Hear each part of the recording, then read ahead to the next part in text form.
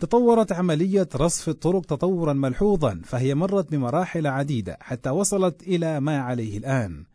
كانوا في القدم يتنقلون على الدواب والعربات على الطرق الترابية.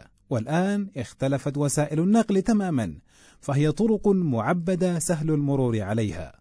والطريق صنع حتى يخدم غاية واحدة وهي إمكانية المرور عليها أي تسمح بالتنقل دون أي عثرات تعيق عملية المرور. الطريق حتى تكون جاهزة للنقل يجب أن تكون خاضعة لعملية رصف جيدة. وتتم عملية رصف الطرق بعدة خطوات ولرصف الطريق أولا يجب أن يكون هناك دراسة واضحة من حيث المساحة والاتجاه والتربة في بعض الأحيان نرى بعض الانهيارات في الطرق مثل الانهيار الإنشائي والذي قد يشمل جميع طبقات الطريق أو جزءا منها وعندها تصبح الرصفة غير قادرة على تحمل الحمولات التي تمر عليها. الانهيار الوظيفي الذي قد لا يصاحبه انهيار إنشائي ويؤثر عادة على راحة مستخدمي الطريق وسلامة المرور. التشققات الناجمة عن درجات الحرارة المختلفة ويمكن حدوثها في المناطق المعتدلة.